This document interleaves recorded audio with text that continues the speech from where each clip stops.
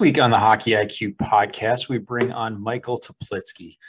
Mike is a good friend of mine from the Cleveland area. He's uh, coached out there for quite some time now, and he's just got a wealth of knowledge and a great viewpoint on coaching, not only for the skills, uh, but for the holistic player. So it's a lot of fun to see how his mindset has shifted through the years um, and how he's approached different situations.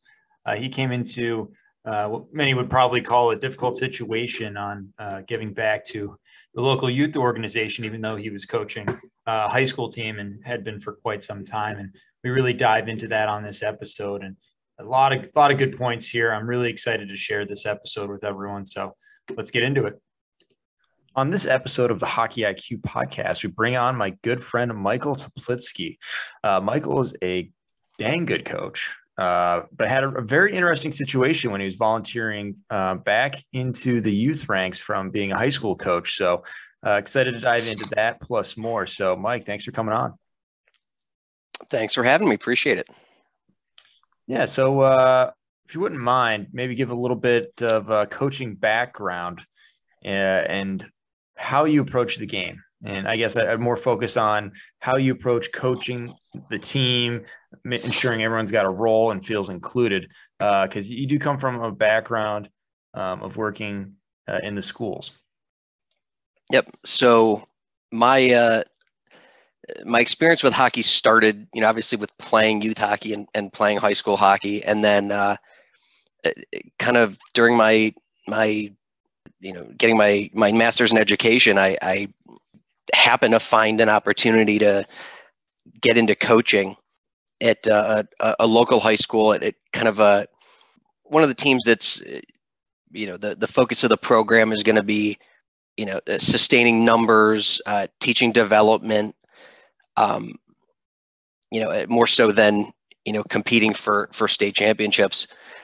But absolutely fell in love with it. Uh, worked in that assistant uh, assistant coaching position for four years and then uh, ended up taking over a, a, local high school program um, in, in, in kind of that same area uh, where the focus is is really going to be on development and you know sustaining a program and kind of uh, creating a culture uh, where those three things are going to be more prevalent than you know going for state titles still wanting to you know win championships and and you know collect some tournament trophies but where there's a bit different emphasis. So that's where the uh, the the you know where I kind of fall in the coaching tree. Philosophy of coaching is uh, similar to you know how a lot of a lot of companies try to try to run their business. You fill the bus with good people, and then you figure out where they sit. You figure out how to how to put the right person in the right seat to get the bus moving in the right direction. So, uh, really strong emphasis in in all the teams I've been with of making sure that uh, everyone kind of understands their role, whether it's uh, leading all the stats categories and you know all, the way to developing skills in areas A, B, and C uh, to be able to contribute more to the team, you know, down the road than immediate. I mean, it, it, it all depends on the situation, but that's kind of the, the road I took and the, the philosophy that, that I've kind of established there. Yeah, and that's awesome. And even with your playing background, I, I think that you more than most understand the value of finding a role and figuring out a place on a team.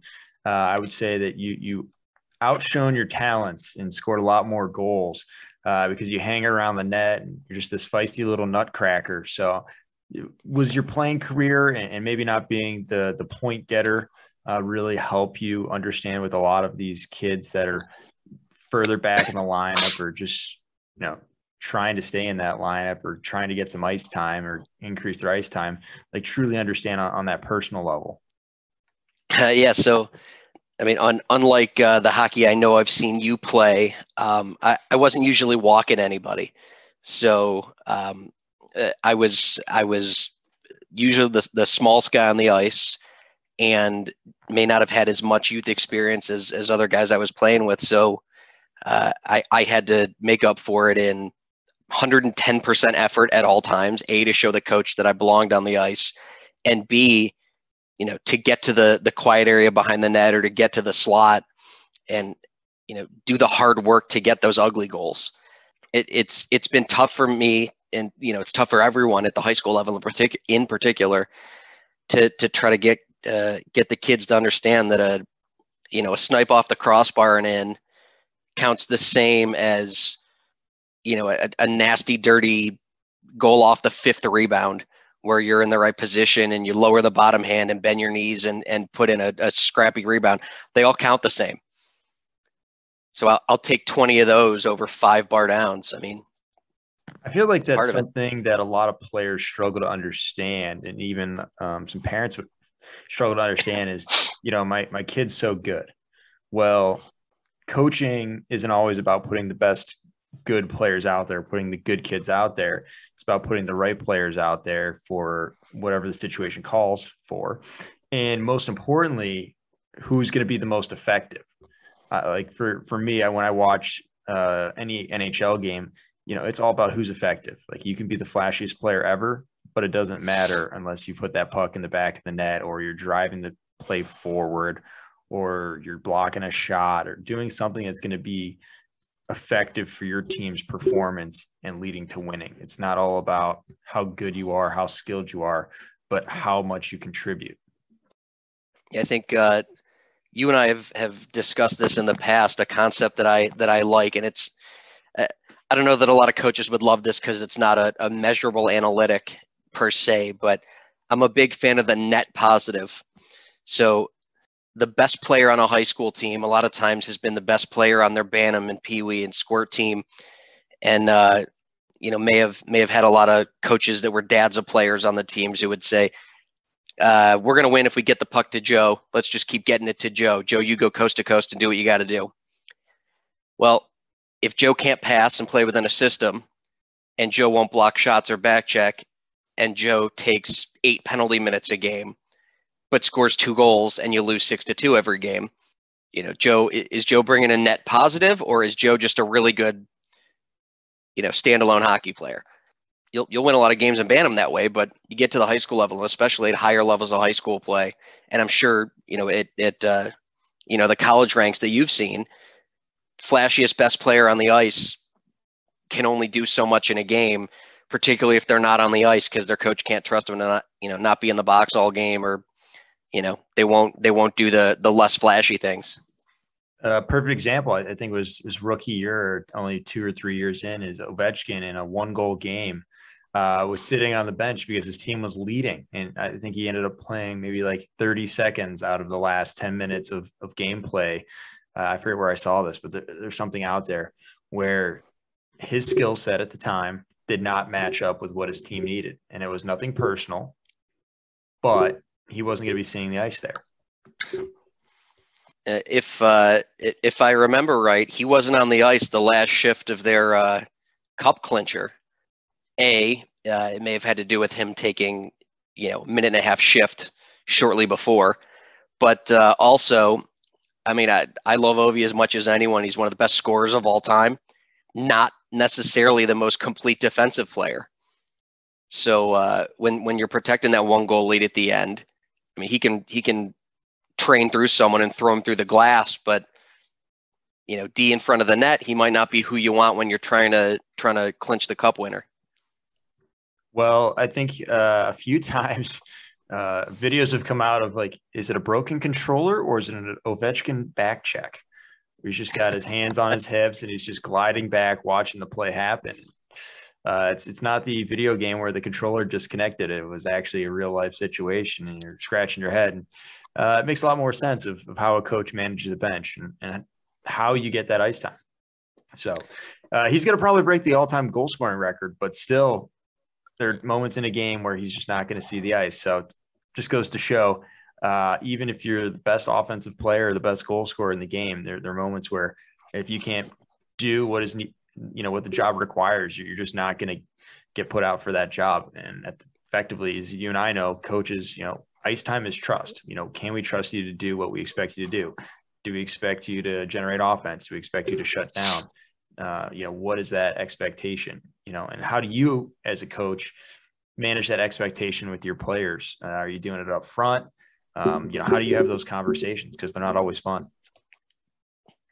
Uh, it's definitely definitely not always fun to to you know particularly a, uh, with a, a, a senior or a captain who you know you've they've garnered that trust and then suddenly you're seeing bad habits or you're seeing you're seeing those those sort of undesirables maybe out of frustration and having to have that conversation. I, I trust me I didn't think when we were going to get on this call I'd be picking apart Ovechkin's game or or talking about things about Patrick Laine that frustrate me but uh, you know I, I watch every Jackets game and it uh, it, it definitely bugs me to see at times uh, Laine try to take the puck wider on a defenseman or go through a defenseman, lose the puck, and instead of a, a stop and start, it's a, a curl back. Uh, I lost it. I'm not going for it.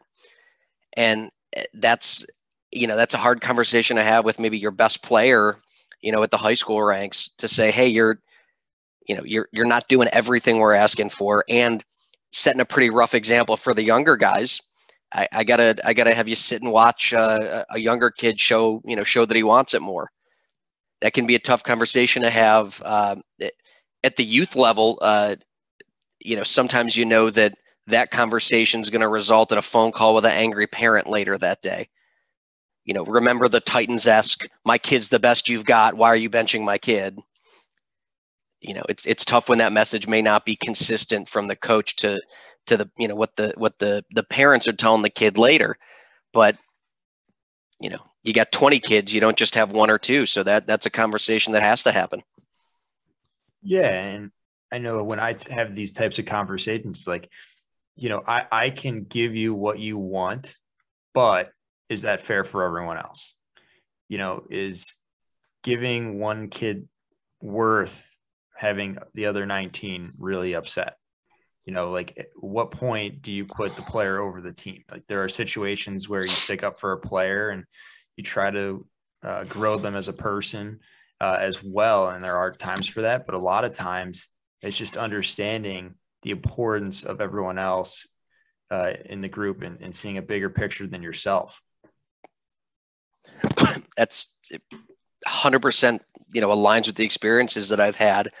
Um, I, I, know we're going to talk about this a little bit more later when we dive into the spec- you know the specifics of the experience I had uh, last year, but man, that was an even tougher conversation to have with kids, particularly seniors during the the uh, last year's COVID impacted season, where uh, so you know sometimes they weren't at school, they weren't getting to see their friends or their girlfriend, they weren't getting to go out and have fun like you would as a you know a senior in high school, and then they come to to hockey, you know, a, a you know something that that's supposed to kind of provide that that time away from kind of real life essentially.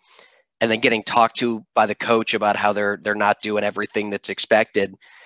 I mean that's it was kind of tough to put additional things on you know the negative side into the mind of of a young person really took a lot of focus on my part of making sure that i wasn't coming across in like a personal attack like separating the separating the the bad habit or bad tendency or, something that I wasn't seeing from the player, from the kid. I remind myself that all the time that I mean an 18 year old is is a, a very young person. Uh, you know, I, I try to think back how well did I take criticism, even constructive criticism as an 18 year old. And then I think, all right, and you know 18 year old mike you haven't seen your friends and gone to school in six months so i it, those were those were tough conversations to have during really tough times when sometimes i felt like the kids needed kind of a a, a, a mentor even someone to talk to even more than a hockey coach and that that's a key thing you just brought up the, the separation between the player and the person you know I, maybe there's some coaches that are not this way but I've never met them, but you know, all the coaches want the best for the players. Um, you want the best for your kids. I want the best for mine. And it's a matter of how do we do that? And it's not always, you know, sunshine and rainbows. Sometimes it's those hard conversations that help them grow.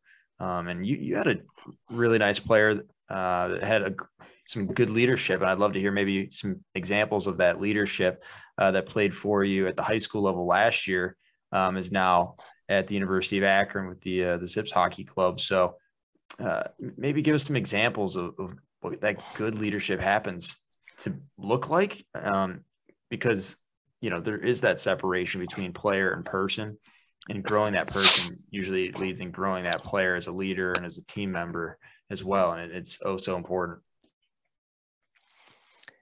The uh, the two things that I think I would speak to the most about that player, um, besides being a, a fantastic hockey player, like we've talked about, that's not necessarily enough to be a leader. You can't just be the you know maybe the best player on the team. Every single practice uh, to to this young man looked like Game Seven of the Stanley Cup Finals. Wanted to win every drill. Wanted to. I mean, seemed to really analyze why a shot didn't hit the net or why they, you know, why he got poked, uh, you know, in a, in a one-on-one or a three-on-two drill. Um, it, you you could really see a, a, a competitive edge that not everybody has, you know, at that age. Um, in terms of you know game days, I mean, I, I can I can vividly remember several situations of uh, this this player talking to the team and saying, first things first, I need to give more. I didn't do what I needed to do, and and that didn't set a good example, and and maybe that that let the rest of us think that we only need to push as hard as I'm pushing, and if that's the case, I need to push more. That has been rare to me. You know, almost a, a decade of, of being involved in coaching hockey. That's that's rare for uh, a young person to call themselves out in front of their teammates, in front of their peers. But I mean, these sort of things, I, I can tell you this player did not play for, for uh, my high school, fresh, their freshman and sophomore year, came in their junior year, and the captain, like the leadership team of captains, came to me, you know, halfway through that year and said, "Hey, even though this kid hasn't been with us the last two years, um, we need him as a captain with us." again a rare thing for you know a couple young guys to say it shouldn't be all about us. We need and the team needs him as well. And and that uh, that spoke volumes. Extremely rare to call yourself out but it, it's such a humbling experience. And think what that does to the other people in the room right? Like especially young folk you know they they're most most of them are trying to just survive out there um, you know get to the point where you're able to think beyond yourself um, and raise those expectations for others to look inward and reflect and continue to grow. I think that's extremely powerful. So, uh, would, would like to put a cap on this for a little bit and, and get to your experience uh, when, when there was a coaching need that was there to be filled um, and you stepped into it, uh, maybe reluctantly at first, uh, but you probably grew a great appreciation for this team. Um, and I'll, let you explain the situation uh, in your own words. And it was your experience. I know you and I had, had quite a few phone calls about it, but I think it's such an enlightening conversation because this was uh, maybe not the AAA level, and we're trying to you know go to the next level and continually you know pushing, but more of seeing that there's more than just the high level hockey. There's also maybe some lower level hockey um, and the great fun and development personally um, and as a player and the confidence that can be grown from from those types of situations. So I'll uh, I'll let you take it from there. Well, yeah, I, it's it's funny you use the word reluctantly, because it wasn't exactly a reluctant situation to become involved, but I I, I heard about a need uh, for for help with one of the the Bantam teams, and uh, I I agreed to to come help out and I showed up to uh, you know an early practice and was handed a clipboard and said, "Thank you so much for taking over as head coach of this team, with a roster and a schedule and everything." And uh, I was there in front of a whole bunch of kids and parents, and just sort of happened. Um, but uh, really good group of kids, but a very unique situation. Um, the top three or so players on this team. I think the team had 16, 16 kids. The top three in terms of skill level. Um, I mean, I, I know one's a, a, starting goalie for a high school team right now as a freshman. Um, the other two are, are go. I, I, I could see them both being high level contributors and leaders on their teams starting as you know starting their freshman years. As you kind of got down the level of skill development there were several very new skaters um, several bantams who i don't think had ever considered the fact that they were going to start dealing with checking and what that would entail. And uh, what i found out to also be several players who were playing because their parents had told them they, they had to do something and they hadn't been uh, engaging in a lot of social activity or they only had one sort of thing they liked to do and their parents kind of made them reach out more to, to uh, figure out something else in terms of a social activity and somehow ended up in full contact hockey uh, maybe a bit reluctantly. So uh, definitely a bit of a challenge because you know at the high school level it, you sort of stop seeing it's kind of like little league baseball sort of thins out as you get towards high school in terms of kids who don't want to be there or who may not love what you're doing. You, you really kind of have to love going to the rink at all hours of the night and driving through the cold and getting hurt and getting hit and wearing $2,000 of armor while you're doing it. But this was a unique situation because there were several kids who needed that kind of higher level development, several who needed really early development skills, and a couple others who, for them, and again, it was during that COVID period of time, who needed fun in their life and needed this activity to be an escape from everything else that may have been going on. So it was a it was a it was like coaching three or four teams at once. Um, there were there were a couple of uh, great uh, dads of players who who I was coaching with, who uh, had experience with hockey and and uh, a couple of uh, one of them had had experience working with young people, but that was a shock at the beginning. Uh, and I know I called you a couple times and said, "There's not a lot of hockey going on. It's a lot of kind of social emotional development that we're we're working on."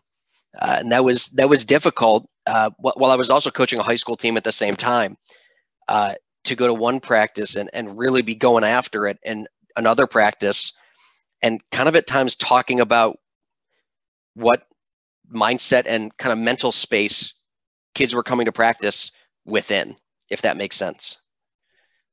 Absolutely. And one of the early conversations that you and I had was your struggle to handle the fact that players were scared of contact. Like they were basically passing the puck to the opponents oh, so yeah. they didn't get hit. Um, and I know you also came. Let's we'll attack attack that at one point, but maybe come with what your original mindset was going into it, and then maybe a few weeks later, a month or two later, you know, how did your mindset evolve throughout the season? Uh, again, coaching like two, three teams, having players that are scared to get hit. Maybe they're just out there and this might be their last year of hockey. Well, I can tell you that at the beginning of that that Bantam season, it was pretty difficult for me to kind of extrapolate what are we doing besides trying to develop our hockey, like our, our hockey skills specifically in our development you know, I, I think my mindset kind of at the beginning was if you're here, you're here to play hockey, and, and I'm going to work with you to try to help you become a better hockey player. Relatively quickly realized through conversations with with you and conversations with with other uh, coaches that have, have been mentors to me in the past.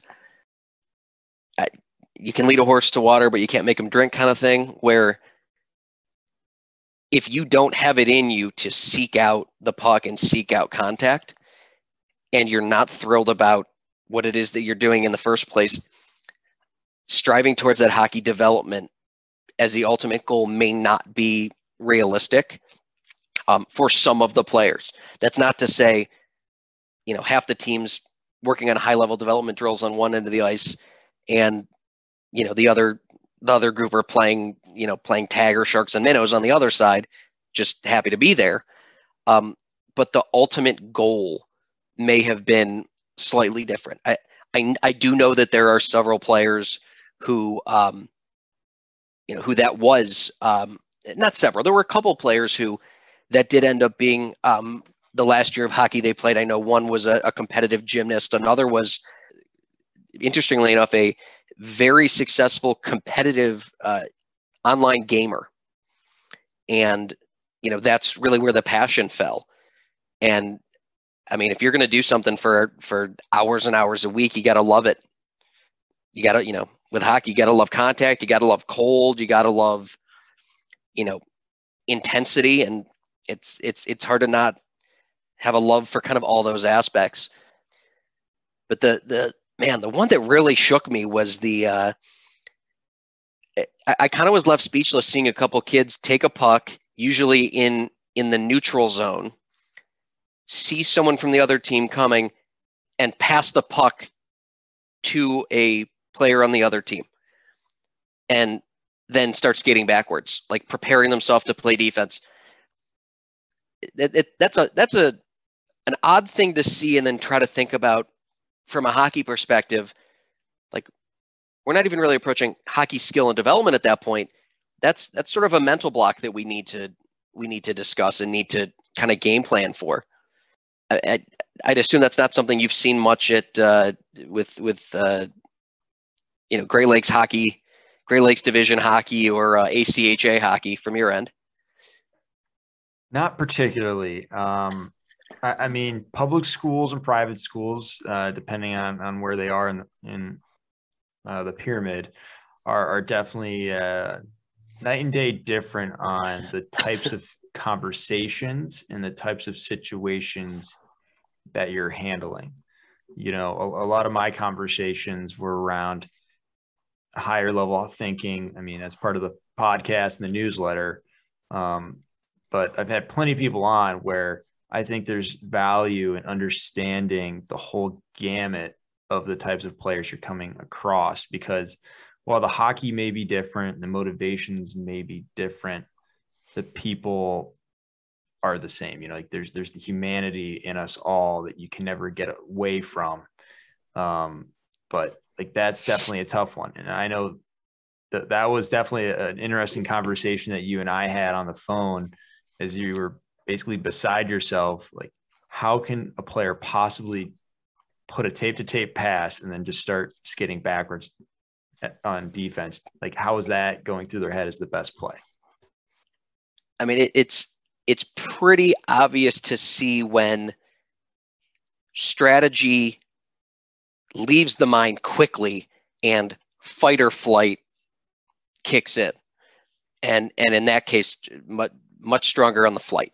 Um, but uh, one of the ways that that I really attack that, and I'm I'm a pretty active coach when I'm when I'm on the ice in practice. A lot of times I'm I'm pretty involved in drills or pretty involved, you know, in in the drill myself to be able to see, you know, if I want to see how how uh, forwards attack defensemen, I'm going to dive in as a defenseman and see kind of what that looks like.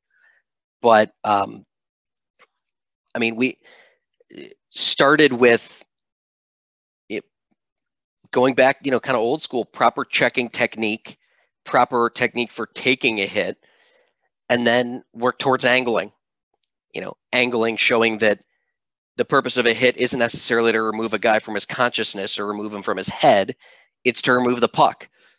You know, a, a, a gentle hip check as you get in front of someone and stick tap them and remove the puck from them accomplishes what you're trying to accomplish without you know putting lives in danger, I guess. Um, but we we started there, and one of the ways that I I kind of tried to show, not just you know coach it, but show it. Um, I was out there in full gear. If you're not going to hit each other, hit me. I'll show you that. You know, Coach T. You know, five five Coach T with a bad hip, out in full gear. You know, the gear protects you, and if you don't duck and you don't turn your back and you you know you're prepared and with a wide base to brace for a hit that's when you're safest and trying to you know kind of start from there you know I, I think that got a lot of the a lot of the kids on the team kind of thinking guys are coming at me to try to take the puck not to hurt me or kill me and now I'm prepared for what that looks like. Um, and we, we started to see it slowly, but we started to see, you know, while while not everyone was seeking out contact or trying to throw hits or trying to dive into corners and really initiate the contact, there wasn't so much a fear for it. It was it was sort of an, a you know ancillary part of the game, not you know an all mind consuming. Am I going to get hit when I'm out there? Am I going to get hit when I'm out there? There's nothing like the coach being in full pads. I usually uh, do that for the last practice of the year. I'll, I'll let the kids, uh, you know, have a run at Coach Revak a little bit. Yeah, that that's fun for them. So as soon as you put those pads on, players usually want to hit the coach a little bit. You know, give give a little bit and have a, have a little bit of fun there. So I, I think that's that's awesome. So I'm curious continuing on with that season, you know, what did the end, you know, obviously where you started was a tough place, but where did you end the season? You know, where was the team at? I'm assuming it was a much better spot than than when you know you started with it. Yeah. So uh, during the um, the kind of scrimmage and the you know preseason where you, you figure out what division you're going to be at and what level you're going to be at, um, won a couple, lost a couple, and then something kind of uh, there was a kind of a flick of the switch. I think uh, we had to travel to a game, and we scored the first goal or two, and then one of our kind of higher level kids got yard sailed like real quick into the game, two minutes, three minutes in, and there was like a flick of a switch where the entire team kind of lost their aggressive, you know, their their aggression, their to get to the puck and to move the puck. And it was just kind of protect myself. And it took a while to to get through that for a, a good chunk of the team. And it, it made for some rough hockey. There were there were there were some games of not not having much puck possession because the goal was get rid of the puck and be away from the puck. But as it, that was sort of the roadblock, as we were able to get more comfortable with the concept of contact. Our possess, you know, our time of possession, based on the eye test. I mean, we're, we're, there's there's no one keeping that stat necessarily in Bantam hockey, but the um, you know, the eye test of are we possessing the puck? Are we attempting to break out a, a, a clear breakout with a purpose, not you know a, a Murph dump just to to try to avoid a hit. Um, and we started to score goals and we started to win some games. Um, I, I think down the down the stretch in the last the last you know four games, I think we were it was you know it was win loss win loss, or or maybe the opposite loss win loss win, and we finished on a win, um, and you know hadn't hadn't won too many, you know, in a chunk of time. So it, you could you could kind of see confidence start to build when results started to show, not just of of winning games, but of you know, wow, I'm I'm I'm you know little Tommy, and when I when I you know occupy space in the slot, that's where the puck ends up, and you know I have the puck on my stick, and I have an opportunity to score, or I score a goal, or you know someone someone tries to line me up and I get that wide stance and brace for the contact and they bounce off or they hit the ice and I don't. I mean, you you you don't necessarily always want to see smiles on the ice during gameplay, but I'd, I'd start to see them of, hey, look what I did. And that was, I mean, I keep going back to it, but I mean, when, you know, when, when, when with, with some kids that really needed a win during a really tough time of their childhood, you know their their kind of young adulthood. Uh, seeing it click for some of them was, I mean, a, a real eye opener for me, and kind of another angle at which to, through which to analyze. You know, am I successful in my coaching? Yeah, I think that personally is is massive. Like, am I leaving this team, these players, these people in a better spot than when I found them. Like that's the ultimate. Like the wins and losses, that's great. And that's like the byproduct. But what really matters is exactly what you talked about is that process and seeing that confidence grow and giving them the tools, whether it be going from out of the lineup to in the lineup or bottom of the lineup to middle of the lineup and then from middle to top or even just those top players, you know, like they're competing against the best players on the other team. Like they're competing to be the best player on the ice, bar none. So just taking the team, the players to that next level, and especially the people and giving them that confidence to go do stuff is just amazing. And I think you did a wonderful job with it. and it probably has a little bit to, to do with how you approach that situation as, as a teacher, um, going through those mental blocks, not working around it per se, but facing that. You know, that's something that anyone can take is facing that head on, figuring out how to get comfortable, go through with that, and then press forward with a smile on your face. Well, the the tough part of that can be, I you know, I may have a smile on my face, and a d- young developing player who's starting to see some successes may have a smile on their face, but an aspect that um, really proved to be challenging, but I, I was able to kind of get better in tune with as the season went on there's some pretty high. I mean, at the top of that team, there's some pretty high level players. Um, and they at times were bored and frustrated and disengaged. I mean, I, I try to put myself in in the shoes of maybe the the kind of top point producer and kind of top skill guy on my team. I'm out here really trying to bust it the whole game, and a kid on my line just passed the puck to the other team so he wouldn't get hit. You know what? Like what? This this isn't the hockey I want to be playing or you know in practice i really hope i'm going to be challenged. Like there's not anyone else out here to challenge me.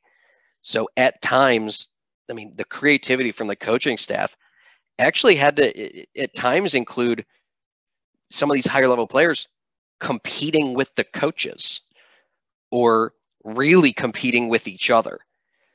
Because it's it, it's hard I mean, if, if there's a team of 20 and 10 are at that high level and 10 are kind of in the more development level, you know, you can you can make five on five in in intense skill development. You can make that work, but it's really hard to make two on two or two on one skill development, you know, a, a reality for an entire practice or an entire season. So it, it definitely took some creativity on our part to try to ask some of these higher level kids – I, I really need your leadership to to make this work. That's a lot to ask of a thir- you know, a 13 or 14 year old kid. I, I need your help in showing what a hockey player looks like and how a hockey player practices. Well, think about I think that's so it's actually super powerful when when I think about it because you're now asking someone to give back. Best part about writing a newsletter is understanding like maybe I don't understand it as good as I thought I did in my head. Like it sounds really good in my head and sounds really good when I talk, but then when I put it on paper, kind of an issue. And just having that ability to give back and think about how do I teach this to someone else or how do I show the way, whether that be with your high school and, and how that kid was calling out himself versus a kid trying to show the way to uh, the players that that struggle a little bit more. Like that's super powerful learning experience for them and actually helps them grow because now they understand these things better. I, I think what you went through was probably learning in dog years compared to most coaches that have an easier ride or have all the players that are very similar. I, I think that it's super valuable for coaches to get that experience where you've got a wide range. How do you engage that top kid? How do you engage that bottom kid. And what do you need to do? Do you need to handicap practices? Do you need to get coaches and extra coaches involved? Like, I think it's just a fascinating case study, and I'm curious to maybe uh, start to wrap this up a little bit. Just you know, what did you learn throughout that year that you can pass along to other coaches, or you can pass along to players that are listening to this podcast? I think number one as cliche as this might sound, it's got to be fun, top to bottom. It, if you're not having fun, it's it's hard to it's it's hard to get up early and come to morning practice or stay late for a late practice.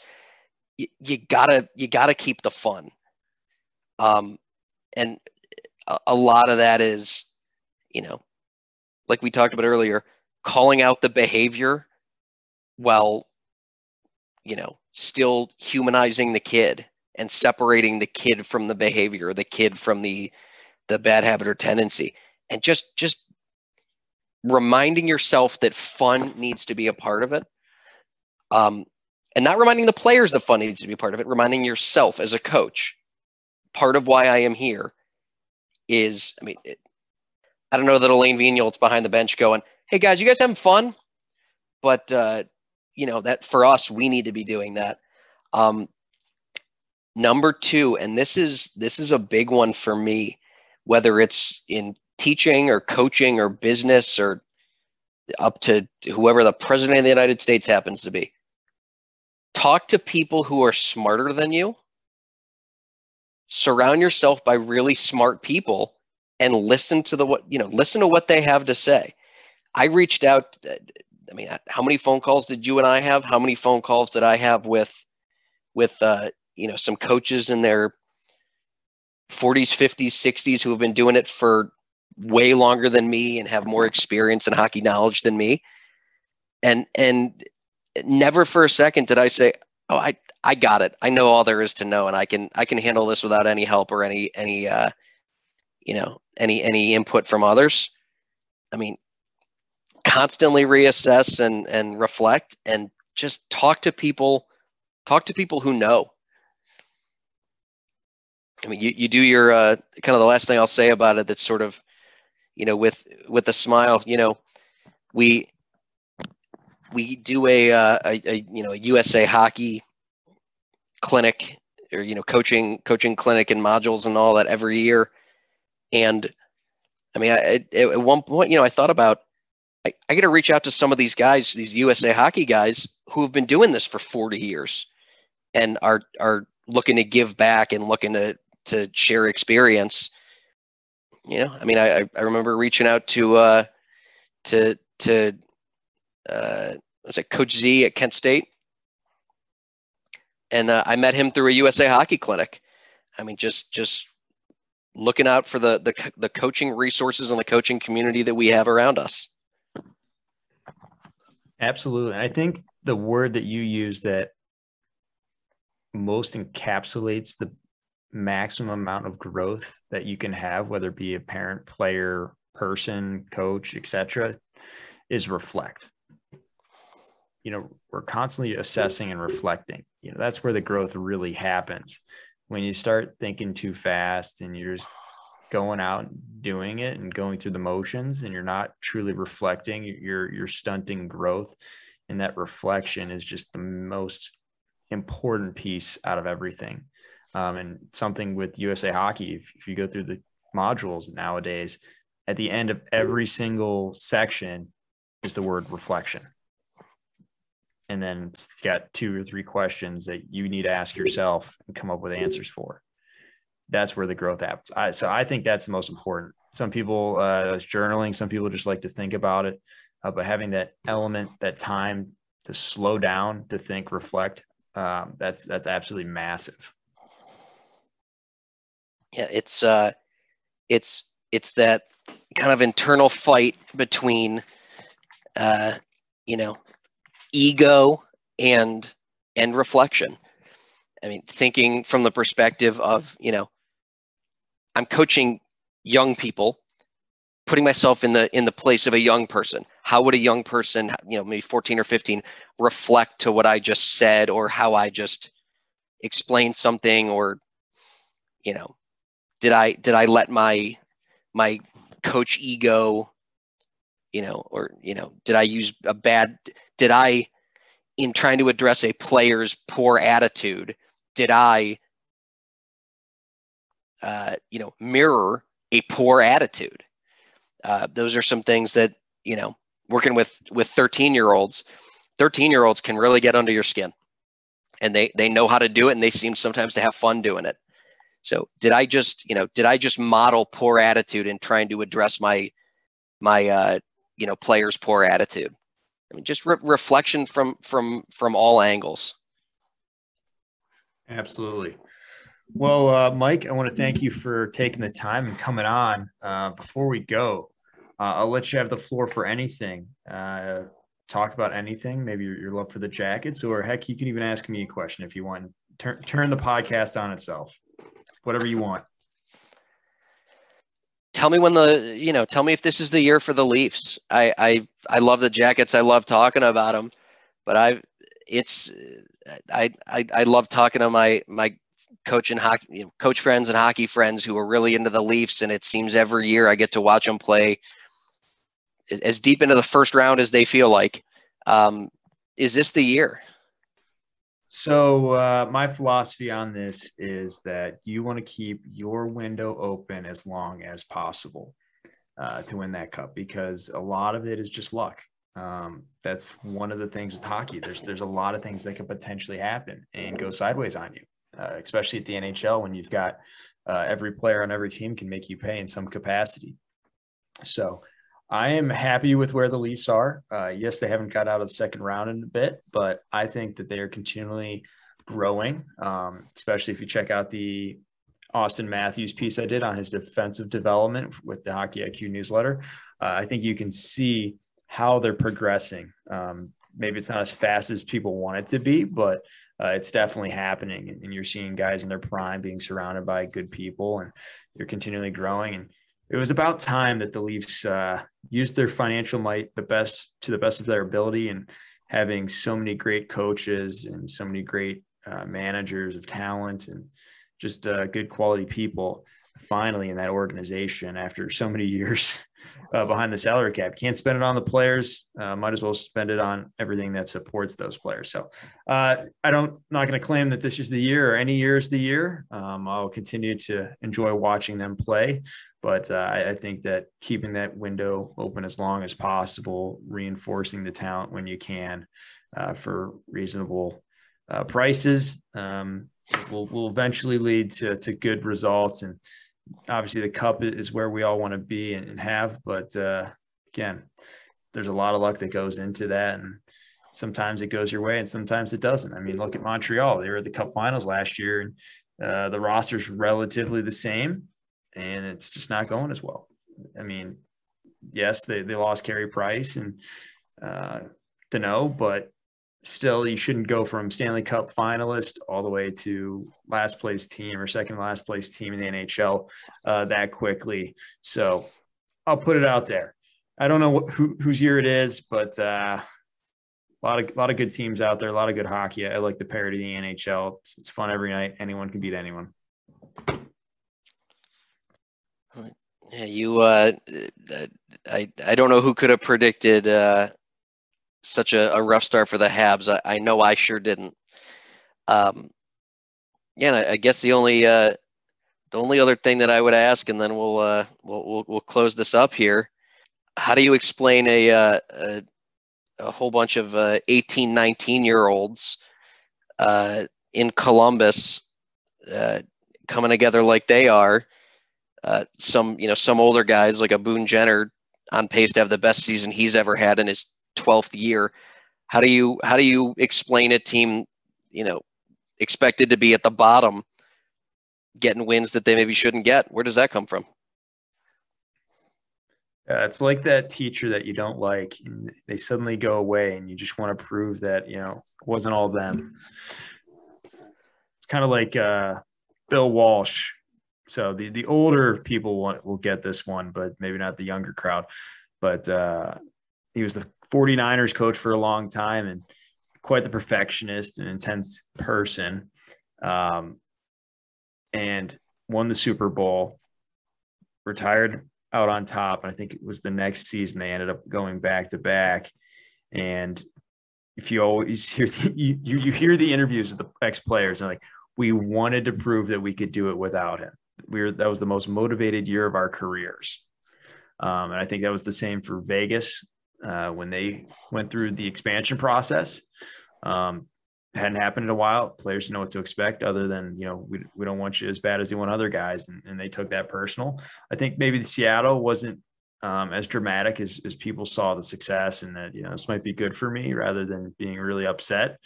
Um, so I, I think that getting out from under Torts. I think Torts developed the talent really well, um, allowed a few guys to to blossom uh, and maybe do it to to show that they could do it without him. That that would be my one theory. Uh, I, have two more that go with it, but I think that that would be the big one for for today. Yeah, especially when we're talking about uh, youth hockey. It, I, I, there there are some coaching uh, coaching philosophies that that could be real effective at the youth level. I don't know that. I don't know how how well Torts would do in Bantam.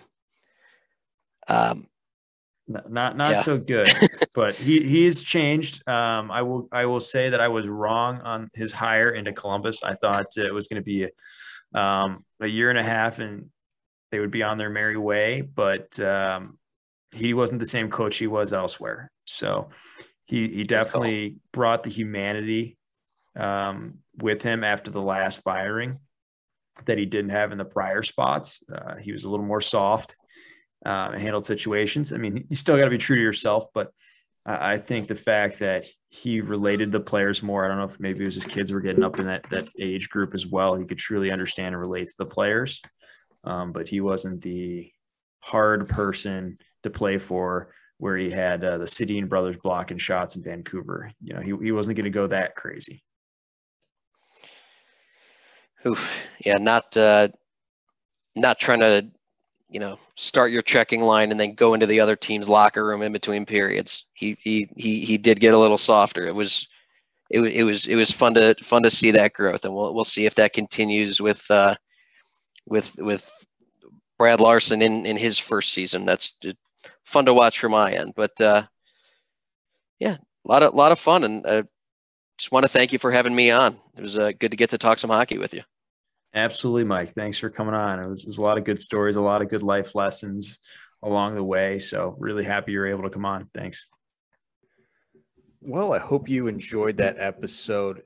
I know I did. So, before we let you go, though, we'd like to remind you to please like our podcast, subscribe to it, give us a follow, uh, and share this with all the hockey people in your life. We really appreciate uh, growing this community, this podcast. Um, remember, we also have a newsletter, the Hockey IQ newsletter as well. Really excited to continue to grow this. So please help us grow this further by liking, subscribing, following, and sharing uh, with everyone. So appreciate you all. Take care.